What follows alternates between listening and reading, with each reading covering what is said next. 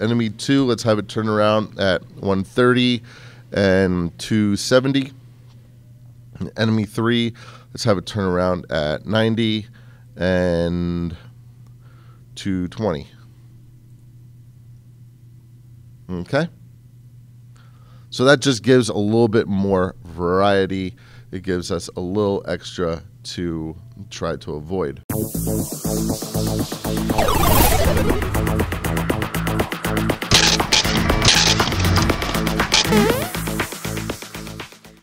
All right, it's time for round two. This is where we left off last time. Okay.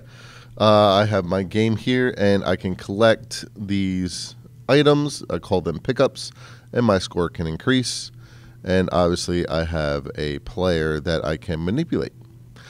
This time around, we are going to add a background image and we are also going to add some enemies. Now, these enemies aren't going to hurt us yet.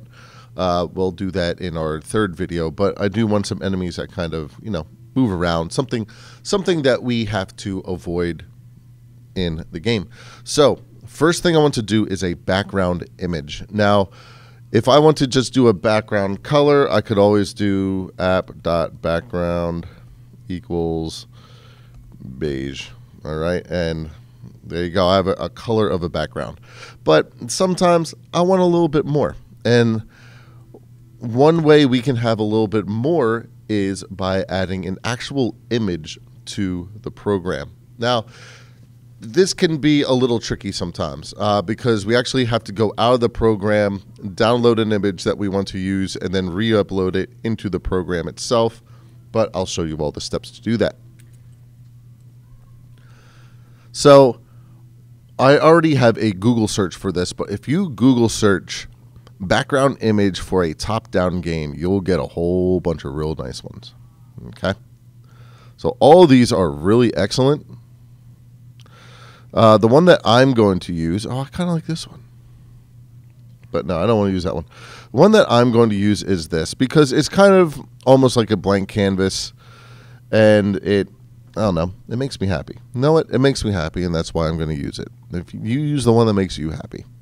So I have my image here. It is um, at 590, 421. Let's see if I can open this in a new tab. There we go. Oh, it has a watermark on it. You know what? Who cares? I'll take the watermark. It doesn't really matter to me. So what I'm going to do is I'm going to right click it and I'm going to save the image. Now, unfortunately, not every image that you come across you'll be able to use. Okay. This one is a JPEG. Excellent. Good. Can use that all day long. Sometimes you'll find ones that are WebMs, W E B M, and we cannot use them. You can always, you know, Google search a way to convert them. Go ahead, have fun. But uh, I'm not going to show you how to do that. Uh, I'm just going to find one that's a JPEG, which happens to be this one. And so now I have saved it. It has saved to my downloads folder. Make sure you know where it is being saved to. So I come back into my game, which is actually this one? Where is it? This one. Sorry, I have a whole bunch of stuff open right now. So I come back into my game and now I need to upload it. So I'm going to go to my three lines here. I'm going to come down here to upload image or sound. I'm going to select the file. This file is the one that I downloaded. I probably could have named it a little bit better instead of EEA83DBBDEF or whatever. But it is what it is. So I'm going to open it up and I'm going to hit upload. And now I have this set up in CS Academy itself. And in fact, anybody can use it. So if you are really patient and you want to type in type in this entire URL, go right ahead. Go ahead and do it. Me, I'm going to hit this to copy it to the clipboard. Okay. So now it's copied to the clipboard. I'm going to go back into the sandbox and open up my game.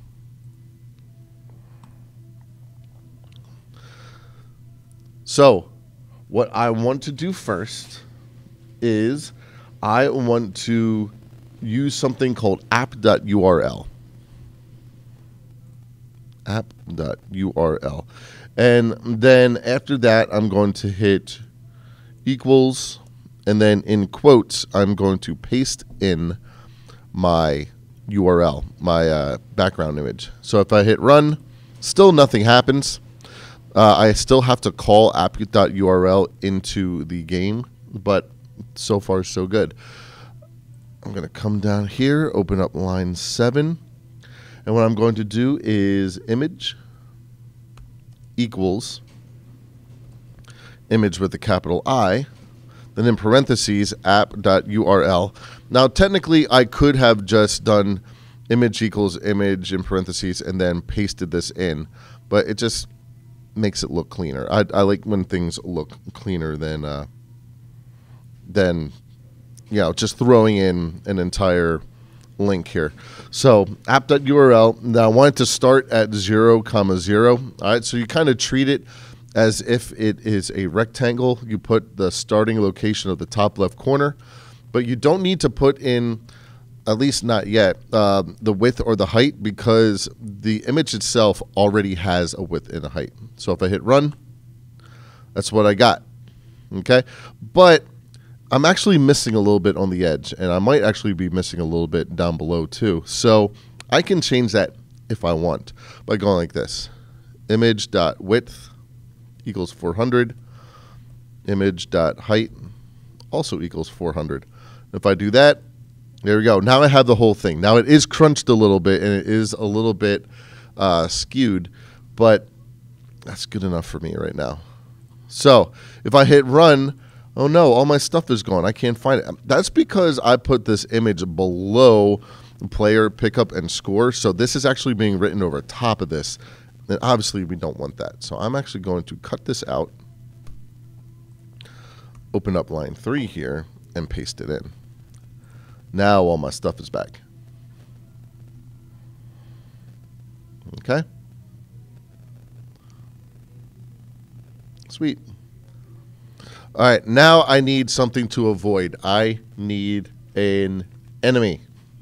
So, if I'm going to make an enemy, I'm going to call it enemy. And actually, I want to put this, yeah, put it right here. I'll do a hashtag enemy or enemies. I'm going to call my first one enemy one. And I'm just going to make these basic rectangles that go back and forth, up and down. Uh, I don't want to do too much. Uh, obviously, you can make it more complex if you really want. But I'm going to do rectangle. Uh, it's going to start at 200, 200. So that's technically where my pickup starts, but trust me, it, will work out in the end. So 200, 200. Um, I want it to be actually a square, so let's do 25, 25. And a fill of red and a border of, once again, black. Well, let's not do a fill of red because my pickup's red. Let's do let's do purple. Okay. So there it is. Sweet. Excellent. Um, now I want this to move. And unfortunately, it's not as easy as just doing uh, enemy one dot center x plus equals five because that's just going to keep going and going. I want it to kind of bounce back and forth. So what I need to do is I need to use something called dx. So enemy 1.dx.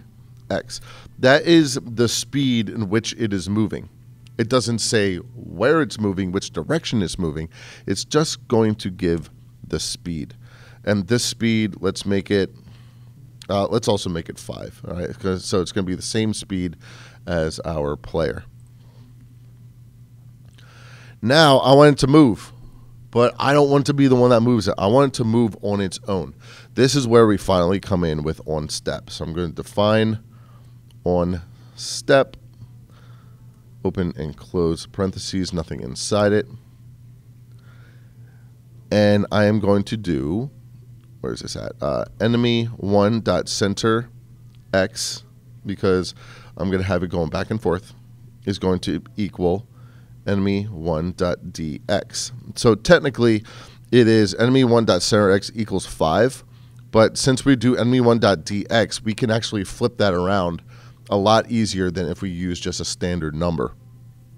So enemy1.centerx now equals enemy1.dx. If I run it, it just kind of sits there. Uh, what did I do? Oh, because it needs to be a plus equals. Way to go, dude. All right, now it just goes away. Bye. We want it so it stops here and moves back. It stops here and moves back. I want it to go back and forth. Okay? This is how you do that. If, I'm going to put two parentheses here, enemy one is ever less than 100 over here, or enemy one is ever more than 300, so if ever kind of hits this area right here, then I want enemy1.dx to flip. Okay? So enemy1.dx equals negative enemy1.dx. So if it's going to the right and it ever gets more than 300, I want it to flip. So now it would move to the left. And as it goes to the left, if it ever becomes less than 100, I want it to flip again. So it goes back to the right. It should bounce back and forth, which it doesn't. What do I do here? Um, what did I do here? Oh, duh. I need to put center X. My fault. There we go. Now it's bouncing back and forth. Now I have something to avoid. Okay, but if I run into it, nothing happens. We'll change that later. Let me just do one last thing. Let me add in a couple extra enemies, two more. So all I'm going to do is copy and paste. All right, these two are going to be enemy two. These two are going to be enemy 3. And once again, my favorite friend, copy and paste. Come on. All right, so now I have three of these things going on. This guy needs to be over. This guy needs to be over. Uh, this section here, all enemy ones need to be enemy twos. This section here, all enemy ones need to be enemy threes. So, come on two, two, two, two, two, and two, and then down here, three. Now, an easy, easier way to do it is to just double click. Once it's three, hit copy, double click, paste, paste, paste, paste, and paste. You'll find these little uh, uh, shortcuts as you go. Now, I don't want these enemy 2 and enemy 3 to go back and forth. I want it to go up and down. So that's messing with the center Y. So everything on enemy 2, I want to make center Y. Everything on enemy 3, I want to make center Y. Now, there's one more thing I want to um, amend, and that's up here in my uh, enemies portion. I want them to start at different x factors. So enemy 2, I want it to start at x equals 100. Enemy 3, I want it to start at x equals 300. So that should give us one enemy going back and forth right here, one enemy going up and down right here, and another enemy going up and down right here. There we go. Now, if you want to go crazy here, you can change these numbers a little bit. All right. If you want things to go faster, Let's make enemy 2 go 8, and let's make enemy 3 go 12. Okay, so that gives a little bit of variety. Also, we can change um, their uh, turnaround points. So enemy 2, let's have it turn around at 130 and 270. Enemy 3, let's have it turn around at 90 and 220. Okay. So that just gives a little bit more variety. It gives us a little extra to try to avoid. So that's going to be it for this video here. What we did was we added a background by going onto Google and finding a background and uploading it. And then we added enemies that can move. Uh, they don't do anything to us yet, but that will be video number three. So thank you very much. Once again, take your time make sure you have all this in is starting to get uh, decently substantial. In our final video, we will make sure that these enemies can actually hurt us, and then we'll add some sound as well. So thank you very much.